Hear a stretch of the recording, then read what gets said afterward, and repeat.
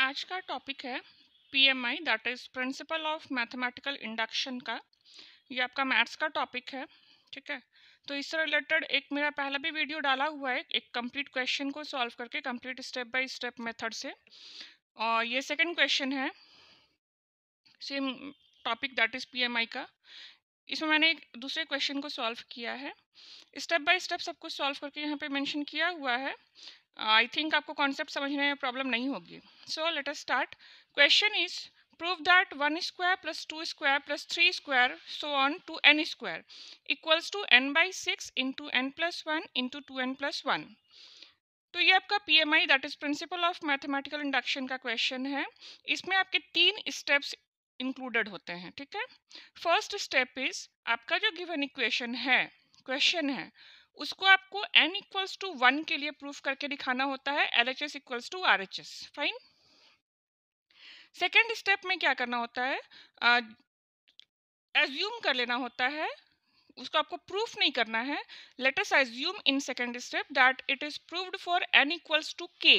मतलब given equation में जहाँ भी आपका n है वहाँ पे आपको k पुट कर देना है and must be assumed only कि आपका this equation has been proved for N equals to K उसको आपको प्रूफ करके सॉल्व करके L H S equals to R H S नहीं दिखाना होता है। सिर्फ़ आपको एज्यूम कर लेना है कि N equals to K value put करने पे L H S equals to R H S proof हो गया। In third step what you have to do is जहाँ भी आपका एन है इक्वेशन में, वहाँ आपको k प्लस वन पुट करके L H S equals to R H S solve करके दिखाना होता है। तो हमारे पास तीन स्टेप हो गए फ़र्स्ट और थर्ड स्टेप को प्रूफ करके दिखाना है सॉल्व करके, और सेकंड स्टेप को सिर्फ़ एज्यूम कर लेना है क्वेश्चन आपका कुछ भी हो। This three steps must be followed in this principle of mathematical induction always तो हम लोग स्टार्ट करते हैं। जैसा मैंने अभी आपको बताया कि फ़र्स्ट स्टेप में आपको प्रूफ करना होता है एन इक्वल्स टू वन के लिए। तो गिवन इक्वेशन जो आपका क्वेश्चन है, उसमें आप एन के प्लेस पे वन पुट करो।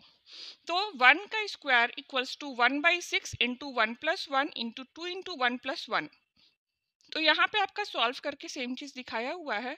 एलएचएस और आरएचएस में आपका वन वन वैल्यू आ रहा है, दोनों side both values are same. So L H S equals to R H S so it is proved for N equals to one. Step one आपका proof हो गया। Now step to में आते हैं।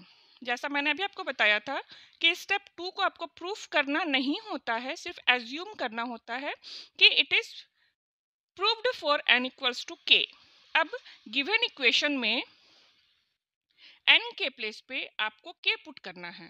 So one square plus two square plus three square plus K square यहाँ मैंने के लिख दिया एन के प्लेस पे और राइट साइड में भी जहाँ भी एन है, वहाँ पे आपको के लिख देना है। Let us assume it is equation number one and it is proved for N equals to K L H S equals to R H S proof हो गया। सेकेंड स्टेप में आपको ये एज्यूम कर लेना है ओनली आपको स्टेप बाय स्टेप इसको सॉल्व करके श्योर नहीं करना है। सो so, ये आपका फ़र्स्ट एंड सेकेंड स्टेप हो गया। Now what you need to do in third step is in third step you have to prove for N equals to K plus one ठीक है? अब जहाँ भी आपका इक्वेशन में एन है वहाँ आपको k प्लस वन पुट करके L H S equals to R H S solve करना है। तो इसको सॉल्व कैसे करेंगे? जब हमारे पास आप देख रहे हो कि यहाँ पे जो सीक्वेंस फॉलो हो रहा है तो अगर मेरा last term K plus one है तो इसके जस्ट प्रीवियस टर्म हमारा के स्क्वायर हो जाएगा। तो हम इसको सॉल्व सिंप्लीफाई करने के लिए इसका जो प्रीवियस टर्म है, उसको यहाँ पे लिखे के स्क्वायर और ये के प्लस वन तो आएगा ही। फिर ये जो one square plus two square plus three square to K square है, उसके प्लेस पे हम लोग जो इक्वेशन वन का जो वैल्यू लाए थे, वो हमारा था K by six into K plus one into two K plus one it means ये जो आपका अंडरलाइंड है that will be replaced by the value from equation one तो ये जो आपका अंडरलाइंड है, उसके प्लेस पे हम लोग ये वैल्यू लिख दिए और ये के प्लस वन कॉपी डाउन हो गया। और राइट right साइड भी आपको साइमल्टेनियसली सॉल्व करते जाना है। इसके बाद जब सारे टर्म्स आपके के के फॉर्म में आ गए तो आपको जो भी मेथड सही लगता है सिंप्लीफाई करने के लिए, वो मेथड आप फॉलो कर सकते हो और इसको आपको सिंप्लीफाई करके just L H S equals to R H S proof कर देना है। यहाँ पे मैंने आपको स्टेप्स कंप्लीटली सॉल्व करके मेंशन कर दिया है। आपको L H S equals to R H S last में शो करके दिखाना है। After simplifying both the sides so as per my calculation it is two K square plus seven K plus six from both the side so L H S equals to R H S has been proved for N equals to K plus one step by step everything is mentioned here जहाँ पे भी common लेना है, वहाँ पे आप common ले लो, जहाँ पे कैंसिल आउट हो रहा है टर्म, वहाँ पे कैंसिल आउट कर दो। कुछ अगर स्क्वायर्स में है टर्म्स तो उसको सिंप्लीफाई कर दो।